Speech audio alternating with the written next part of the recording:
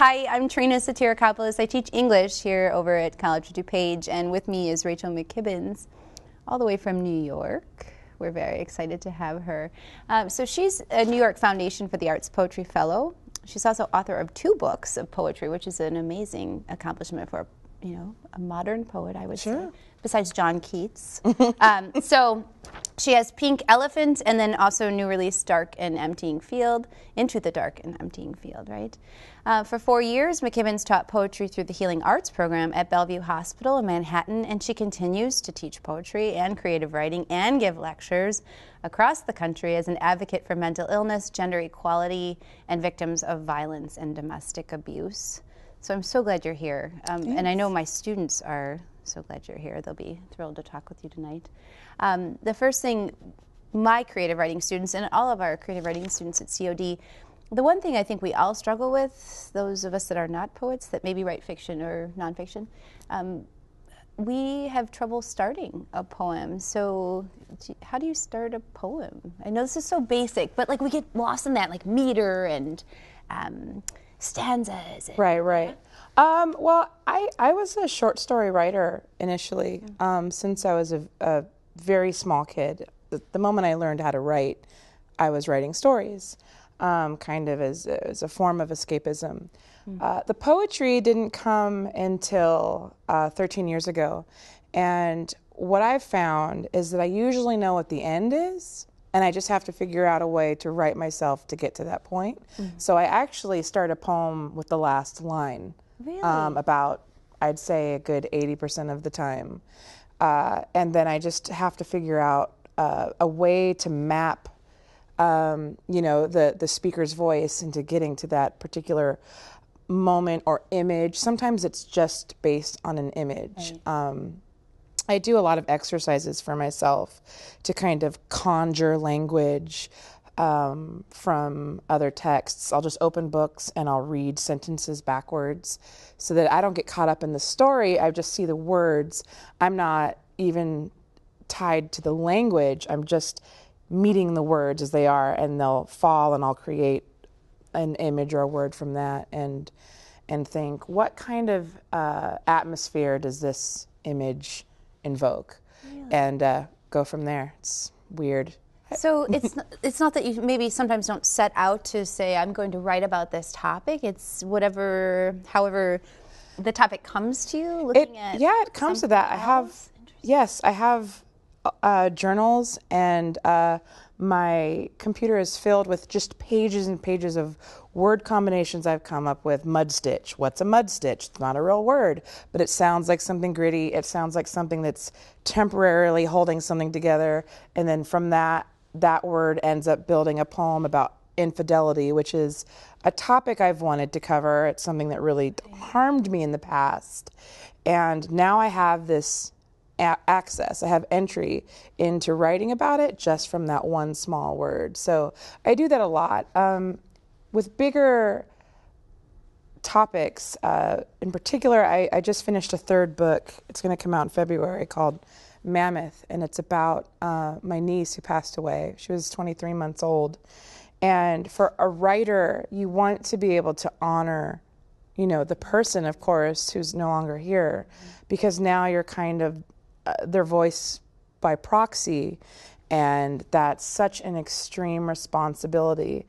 Um, and so meeting that, I mean, there wasn't any language for that. That kind of grief is so just vast and it doesn't have any edges. It's just going and flowing and flowing. And so you kind of have to chase after smaller moments. And so for that book in particular, I definitely would sit down and think, all right, what's a, a moment in that terrible week?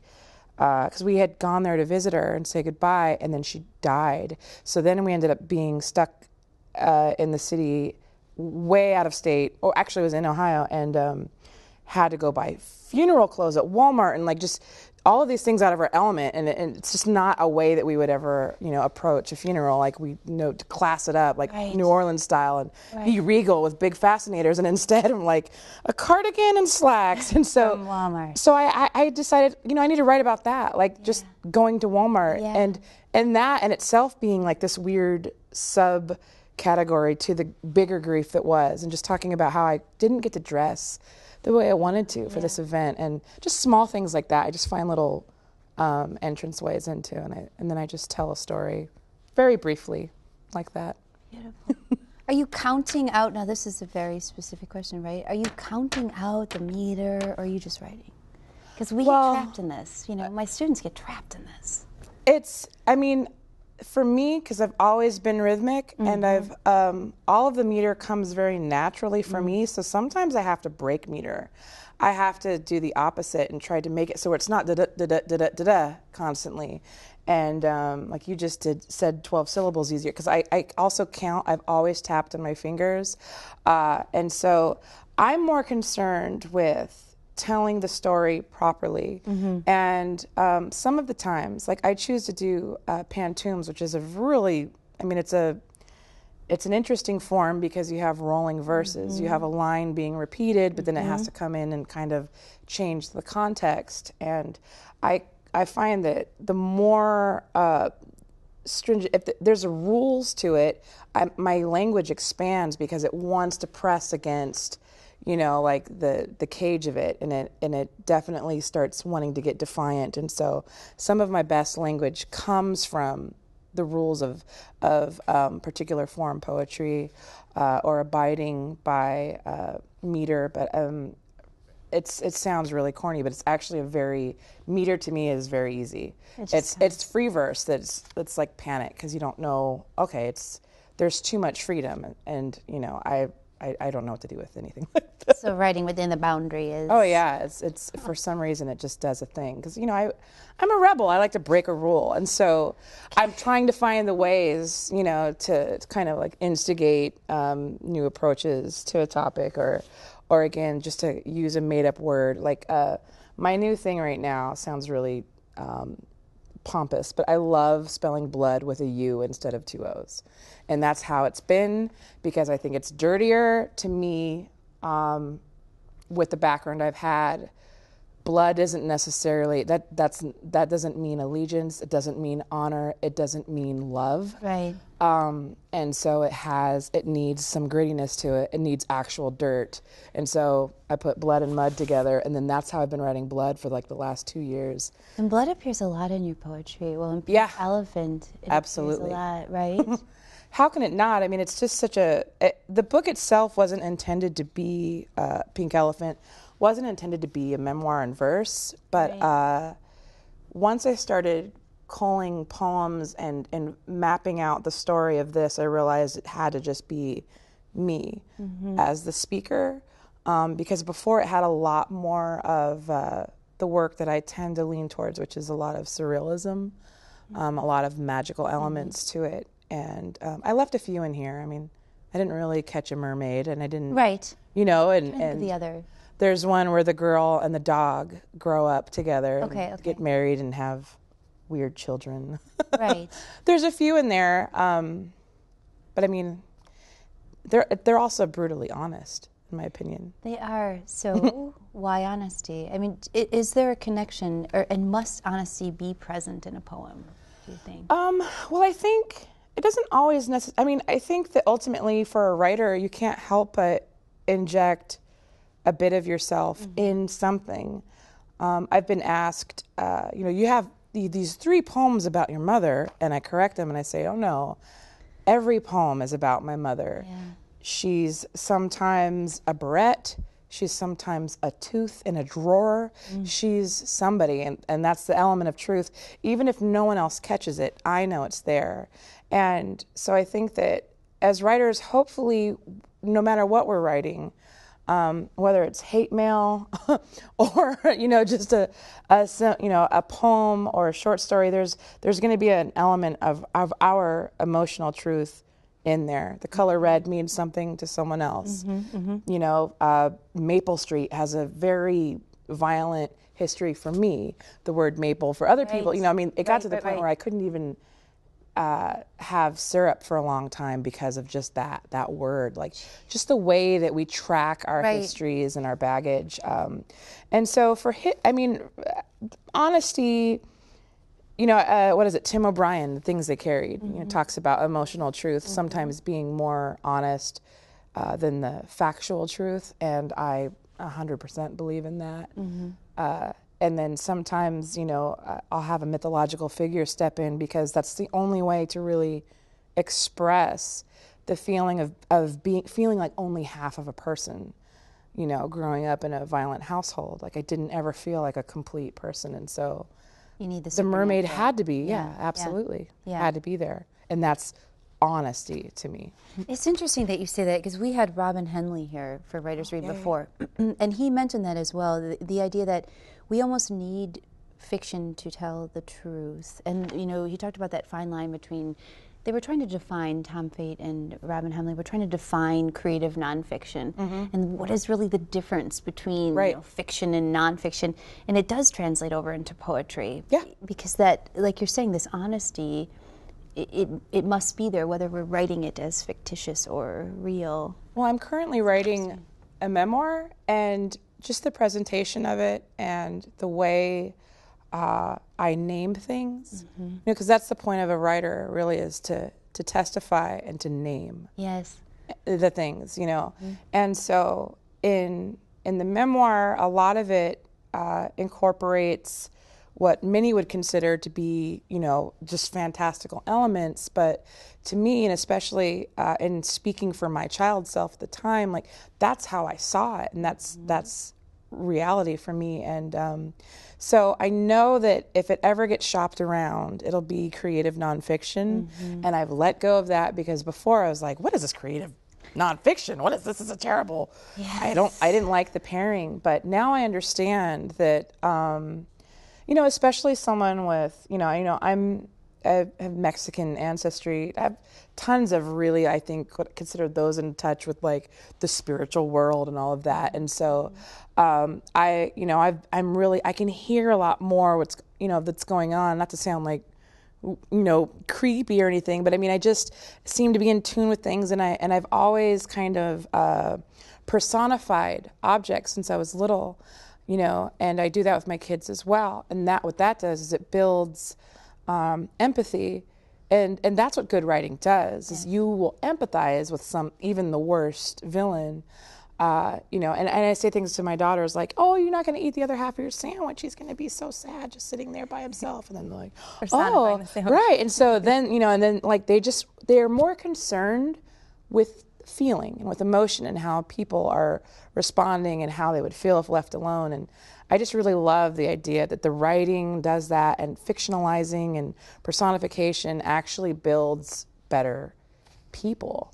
And um, they are the most honest little witches on the planet. I love them to death. But I mean, the, the things they say, and it, and it definitely is with not just a poet's eye, but um, just that honest, uh, like fairy tale esque thread that's just woven into their language effortlessly.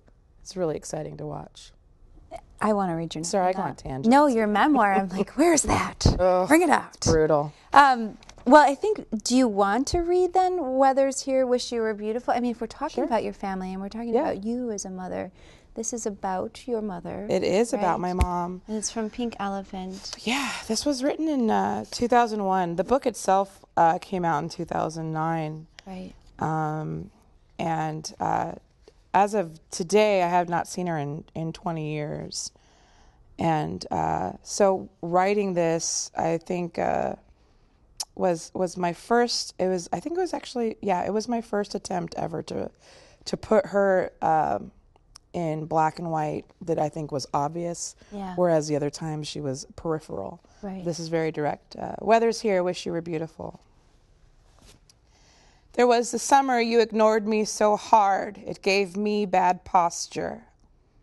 By fall, the chiropractor prescribed a back brace and a name tag to wear around the house. Every Christmas Eve, instead of throwing me a birthday party, you'd soak me in the bathtub fully clothed and hang mistletoe above all the light sockets. I was never included in family portraits. You said I had a face only a mother could leave. I remember standing in your hallway every other weekend, gazing at you and my stepbrother, wearing the framed smiles I knew I would never inherit. I became your biggest fan, chasing your car home from the grocery store, standing outside your bedroom for an autograph or a handshake, explaining, Mom, I've seen every one of your home movies. Weekend trip to the zoo, mother son picnic in Yosemite, and know every one of your mood swings by heart. When you dropped me off at home, I'd brag to Dad and his girlfriend about my brush with fame. They'd smile and nod, then shake that wild imagination right out of me. Pretty soon, the weekend visits faded into a 19 year carnival line where I waited for you until the sights and sounds of families and laughter made my stomach plunge. That's the year I lost my appetite, then found it in men disguised as getaway cars. Sometimes a tingling sensation sweeps across my face like an amputee's phantom itch, and I realize how much I miss the back of your hand. I know I never apologized for steering you into that marital car crash, but how was I to know they'd pry your legs apart? drag me from the wreckage, my first cries shattering that rearview mirror for a heart. You could have told them. You could have explained. I was just some filthy hitchhiker you never meant to pick up. A greedy little fetus. An accident waiting to happen. Yay! That's wonderful. Your face. So, no, I just, that poem, every time I read it, it's, um, it's haunting and beautiful at the same time. And it's very rare that a piece of art, a piece of work can do that, right? Thanks. So, It's it's it's a weird poem uh, to do because um, it does just that. It has people they don't know what to do with me afterwards, and they'll come up and be like, "I hate that I like that, but I like it, and I'm sorry." Like, hey, you know what? I mean, if if I wasn't able to write it, then there'd be the problem. Like that I wrote it, like mm-hmm. just you know, that's a good. We're in a good place. It's okay. right. But also, you know, we were talking earlier about when someone criticizes your, you know, we, we have critics, right? We have literary critics. Absolutely. So Can't when they art without them. exactly. So when they write about your work, uh, you you know, are they writing about your life or your work? Right. Right. Right. And there's a fine line there. Sure. And you know, you're you're taught, especially in MFA programs, uh, that you're only ever to say the speaker of the poem, not the poet said. Like, no, it's the speaker of the poem says. And um, I don't work so hard to separate myself from uh, the speakers of my poems. I do come from numerous perspectives. Uh, I think that's really important. Um, I like to reveal and uh, sort of indict myself in poems often. Uh, I'm clearly not a hero of any kind, um, but that I've survived what I have. You know, I tend to get uh, misrepresented as as the hero, but there's a big difference between surviving and living. And um, I've only just been able to learn how to live. Uh, and for anyone who criticizes uh, the poems, I mean, that's you know, go ahead and do that. That doesn't that doesn't uh, harm me in any way. I've been harmed. I know what that is. You know, and so the writing of it, uh, I, I guess I'm a, one of the lucky writers who just doesn't. When people have anything negative, I, I, I just don't give any Attention. value to it. I just don't. Right. I don't I don't mean to be uh, you know, loved and embraced by everyone. That's that would just be the weirdest thing ever. Right. You know, it doesn't make any sense. It's a strange place to be. There's no one who's maybe Sally Field, but I think we all love Sally Field. I don't because everyone does. See, so there we go. I'm the ass. antithesis. um, okay, so we should tell the audience that Oops. I mean, I mean, you're so celebrated in the poetry community, and I wasn't able to say that in the intro, but nine-time natural, na- National Poetry Slam team member, right? Appeared on eight NPS final stages, coached the New York Louder Arts Poetry Slam team to three consecutive final stage appearances, plus the 2009 Women of the World Poetry Slam champion. And the 2011 National oh. Underground Poetry Individual oh, Champion. And that was next on my in my notes. well, uh, that one was was more exciting to me because it's your peers judging. Oh, really? None of the, yeah, the rest was random yahoos in the audience. Okay, okay. This is your peers. What if the Yahoos are watching the interview? You're like, Screw the "Love Yahoos." Yahoo.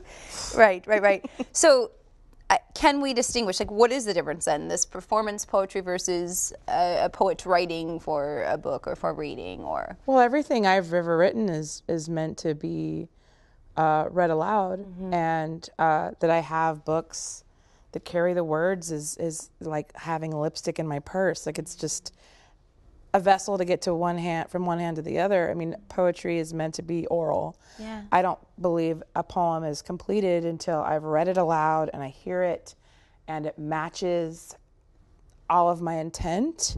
Uh, and so, uh, you know, my children have to sit, you know, I'm like, sorry guys, it's going to get rough for a minute. There's some poems that are really harsh and I just have to read it. I have to hear it. Is it sonically like proper? Right. Um, and so, you know, being a part of the poetry slam scene taught me a lot about understanding um, the the weight and the timing um, as we were figuring out poems for me to read. I know it's 245. I know it's 308. No, yes, You have to know that. You have to know what's going to fit, and it's really important. Um, you know, I've been to tons of literary festivals mm-hmm. where I've heard a poem I loved just get butchered. Just it mm-hmm. wasn't given its proper voice mm-hmm. and presence on the stage. It didn't take any shape. It was just kind of a flat, monotone presentation.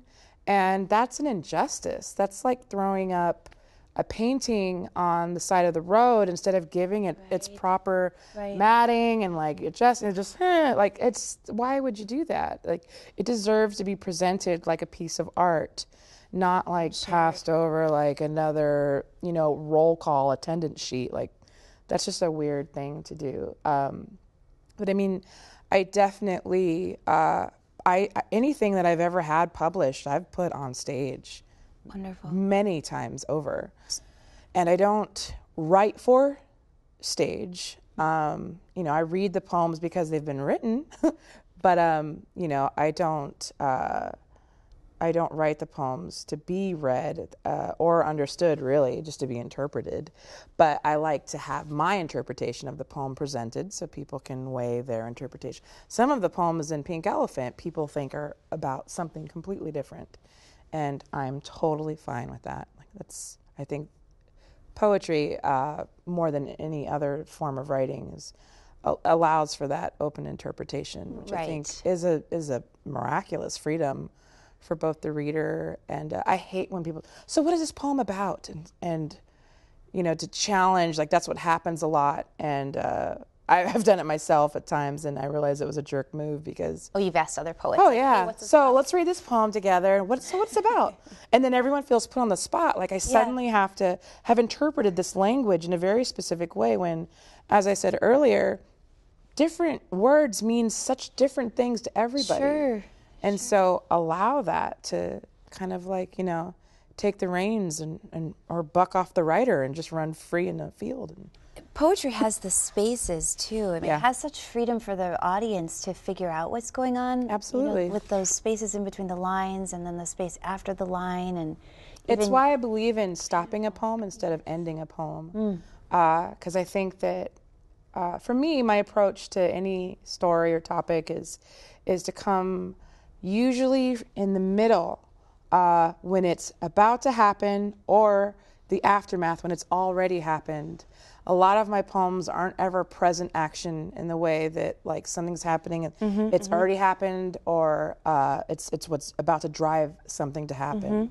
Uh, I think that's a lot more exciting. it is. You know, Yeah, I can see that some of the reflective, like yeah, it's Right. reflective and there's a lot. I, it, it's just it's easier to dissect a mm-hmm. thing, you know, a mm-hmm. big thing if it's already happened, mm-hmm. and then the aftermath I think is really important. Uh, I have a lot of writing exercises that deal with that. Like, what how, what does the weather change by this event happening?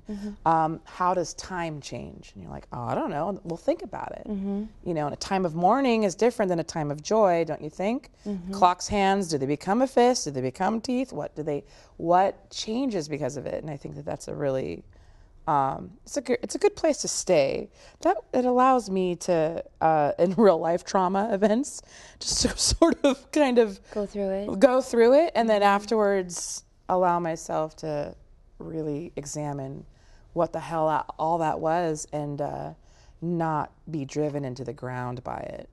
I like that you say change because it reminds me even of writing a short story or writing a story, a novel, etc., where there must be change, right? Yeah. And and in poetry, though, it's interesting that you say that we must have change as well. Then, Yeah. right? And the stop allows for the reader to continue on with the story.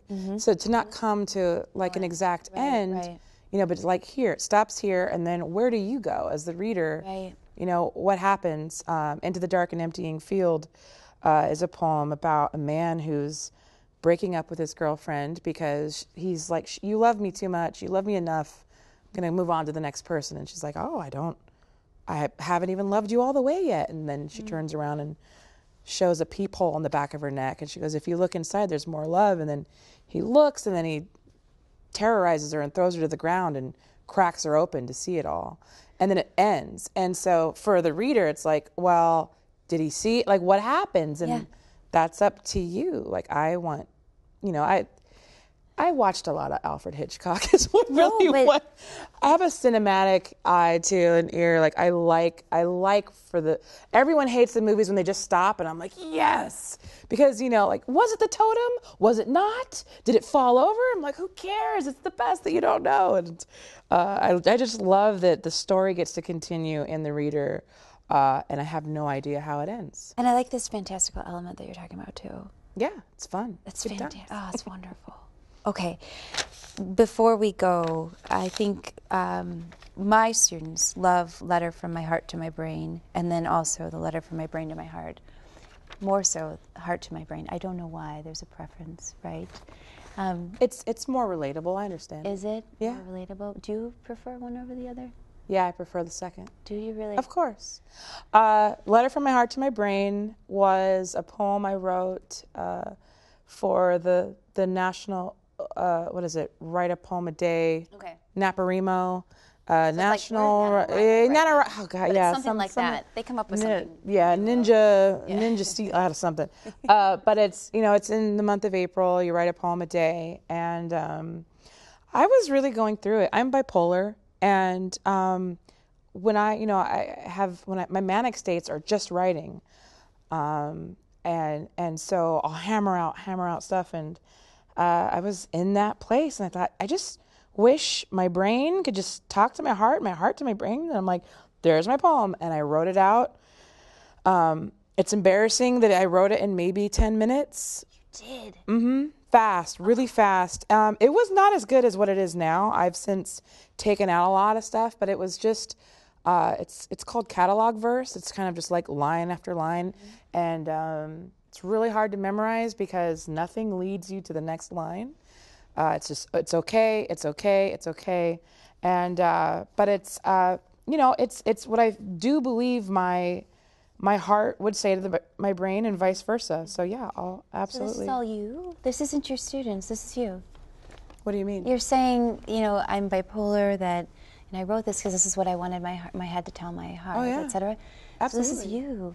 Oh yeah. Oh, Oh, did you think? Oh, we I read it a different way, and here we Oh. go back to like the interpretation. Awesome. We read it- right because working at Bellevue. Well, I, I talk about in the TEDx talk about um, how I I mean I never addressed my mental illness Mm-hmm. the entire time I worked there, and I'm guiding these kids into talking about it and into facing it and and into kind of owning it Mm-hmm. and allowing themselves to rule it instead of the other way around.